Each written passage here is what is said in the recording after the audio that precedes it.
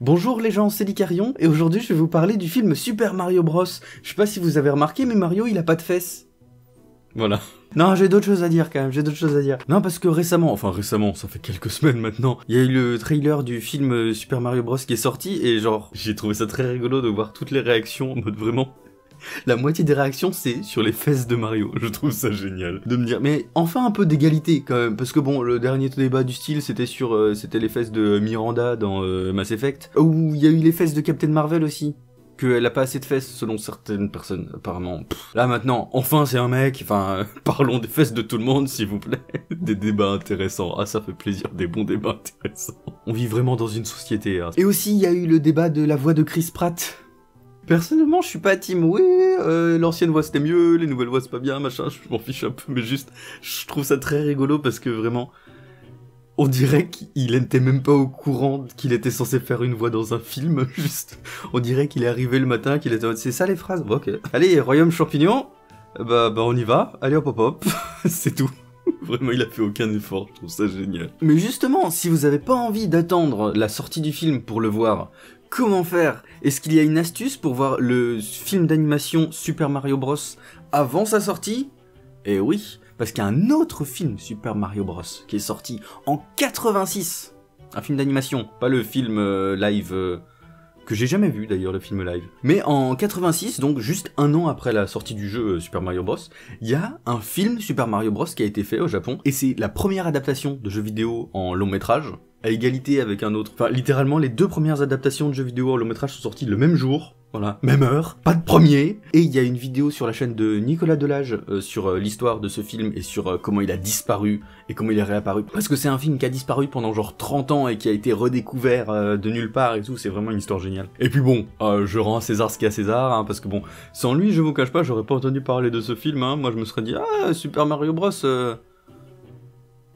Voilà, justement, je me serais rien dit à ce sujet. Et en plus, le film, euh, l'ancien, hein, pas le nouveau. Le nouveau, il n'est pas disponible encore au moment où je tourne. L'ancien, il est disponible gratuitement sur YouTube et il est en super qualité. Vraiment, c'est de la qualité, mais ça fait plaisir de voir ça. Hein. Et il est super cool, vraiment, c'est un film qui est méga cool. Je l'ai regardé en me disant, ouais, je vais me moquer un petit peu. Franchement, j'étais un petit peu... Euh, j'étais un peu moqueur. Voilà, je, je, partais avec des a priori, je me disais, ouais, un vieux film, ah, ça va pas être très bien, quoi.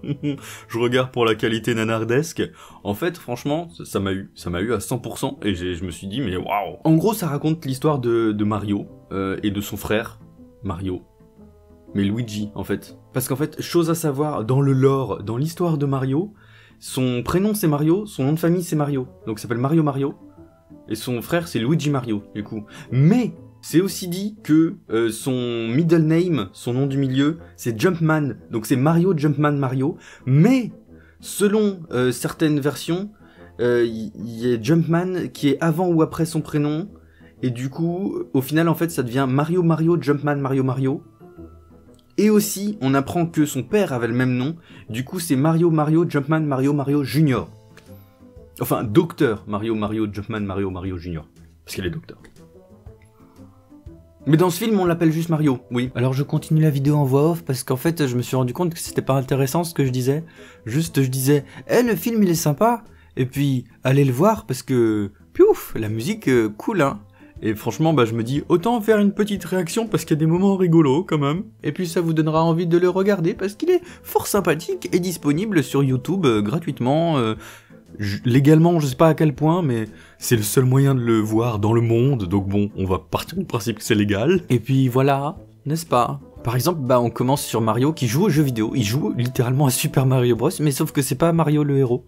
C'est un mec qu'on connaît pas et qu'on connaîtra jamais. Quoique c'est pas exactement Mario, mais c'est l'idée quoi. Il joue à la NES en tout cas.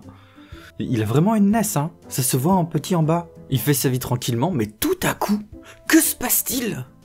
Époustouflon. C'est la princesse euh, qui se fait... bah elle est trop forte en fait, c'est bon, elle a pas besoin d'aide. Quoique, ça fait beaucoup là. même pour elle. Elle est badass, mais quand même, faut pas déconner. Et hop là, il y a bah, Mario, il va devoir aider la princesse parce que visiblement c'est un peu la merde. Hein. Ah bah oui. Hein. Quoique les monstres, ils ont l'air d'en avoir rien à faire de la princesse, juste ils font leur vie autour. Et là, malheureusement, bah ouais, il y a, Bowser, hein. Solong? Là, il y a Bowser qui fait une The Ring, malheureusement, avec une main énorme.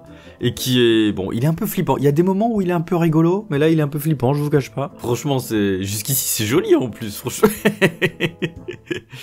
c'est du génie, c'est du génie. Ah oui, il y a un détail que j'adore, c'est que euh, Mario et Luigi, bah en fait, ils sont plombiers, mais apparemment, euh, plombier au Japon, ça doit vouloir dire euh, vendeur dans une boutique. Je sais pas exactement s'il y a un problème de traduction quelque part. Bon, ils font leur petite vie tranquille, mais il y a un chien chelou qui arrive et qui leur vole le, le collier que Peach a laissé à Mario. Et du coup, bah faut, et hop, faut y aller quand même, hein. Et les musiques elles sont trop cool.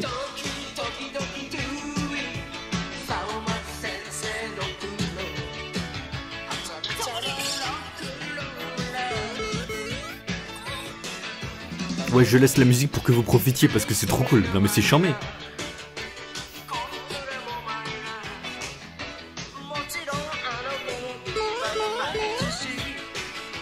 Et c'est trop joli, c'est trop joli. Franchement, ça vous donne pas envie de le regarder ça? Et genre, ils arrivent, ils passent dans des tubes par hasard, en fait, ils sont là. C'est pas volontaire, hein, c'est pas volontaire. Mais bah ça va les emmener dans le royaume champignon. Il y a genre un vieux sage qui leur explique que c'est une, une histoire millénaire qui se raconte dans le royaume champignon, qu'il y a deux frères qui vont venir et tout. Je sais pas qui c'est ce vieux sage, mais bon, euh, c'est la vie, hein, on va partir du principe que c'est Jean-Michel Champignon, et voilà, hein, il était là.